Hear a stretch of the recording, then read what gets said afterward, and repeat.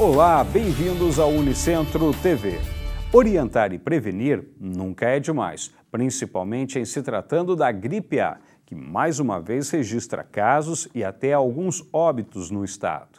Aqui em Guarapuava há um constante acompanhamento. E a Unicentro, por meio do Departamento de Enfermagem, vem desenvolvendo ações de orientação e cuidados para evitar o contágio. Confira com a repórter Jéssica Reis. O Departamento de Enfermagem da Unicentro promoveu mais uma atividade extensionista envolvendo os acadêmicos em palestras nos colégios de Guarapuava. Embora exista o controle da gripe A, as medidas de prevenção estão sendo intensificadas na cidade. As escolas podem ser consideradas um local de risco para a doença.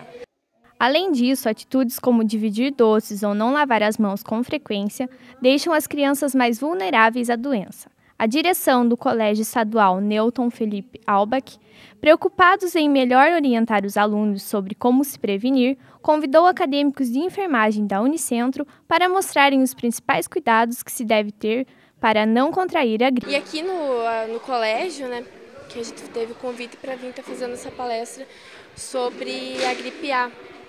H1N1. A gente considera muito importante também, né, estar tá desenvolvendo essas ações dentro dos colégios, porque a gente acredita que as crianças sejam os multiplicadores, né, dessa, dessa educação em saúde.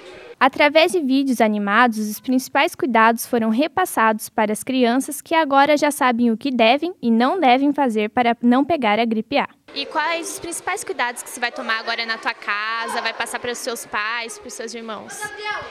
Lavar sempre as mãos, né? É, passar álcool em gel. Palestras como estas também só tendem a acrescentar para os acadêmicos de enfermagem. Então, eu considero muito importante né, esse elo da universidade com a escola. E quanto futura enfermeira, eu acredito que isso é muito importante né, para o enfermeiro estar tá realizando essas ações é, de informação para a população no processo de saúde e doença e que seja de uma forma dinâmica, né, para que isso se torne um aprendizado para o público-alvo, né? De acordo com o último boletim divulgado pela Vigilância Sanitária, do dia 22 ao dia 28 de julho, foram confirmados nove casos de gripe influenza A na cidade. E o Unicentro TV fica por aqui, mas continue ligado. Em breve nós retornaremos com novas informações da nossa universidade. Um abraço a todos e até lá.